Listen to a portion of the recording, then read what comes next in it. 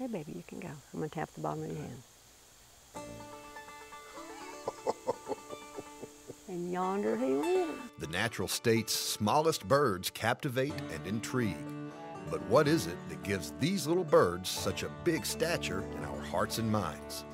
Call it charisma. They're small yet spunky, painted in some of the most vivid colors on Mother Nature's palette. And though they may not be as common as other Arkansas birds, we often find ourselves in close proximity to hummingbirds. But their charisma runs even deeper. These ruby throated hummingbirds weigh just more than a penny, and yet, if we ate at the same rate as one, we would need to consume our weight in nectar plus 150 pounds of protein just to survive a single day.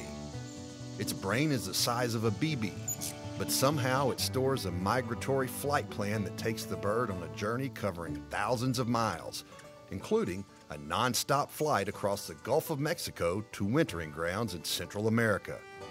These birds can remember the site of their favorite flowers and feeders and can spot them from three quarters of a mile. It's no wonder we're fascinated. I have to have my desk with my back to the window.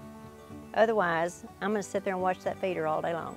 That comes from a woman who has actually touched thousands of hummingbirds.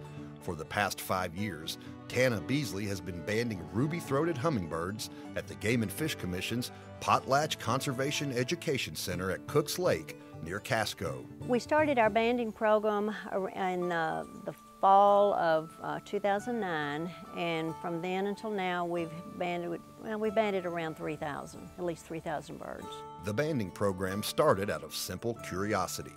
Well, we always had lots of birds, and our feeders were always full of birds, and we just started wondering, well, do we have the same birds that come back? The holder of the only federal hummingbird banding permit in Arkansas, Beasley works through the spring and summer to increase understanding of the bird's epic migration.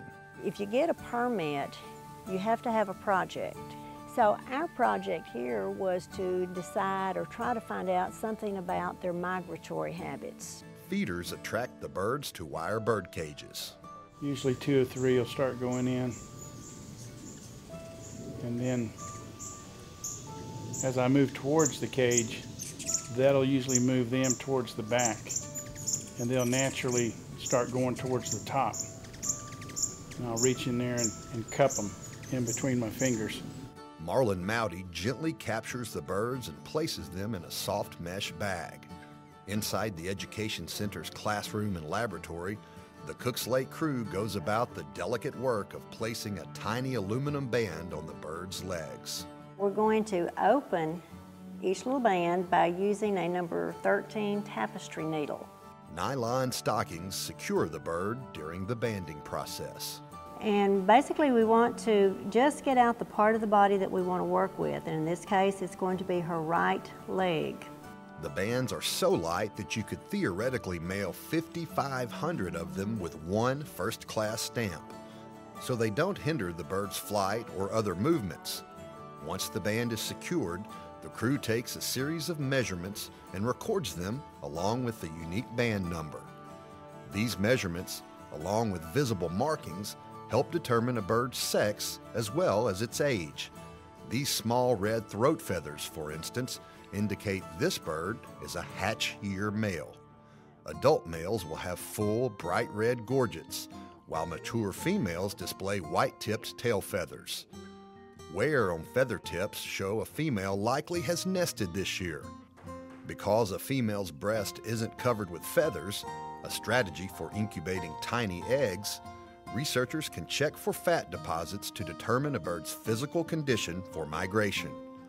All of these factors add to our knowledge of hummingbirds, and over time, the recapture of birds here and in other places helps researchers understand migration patterns.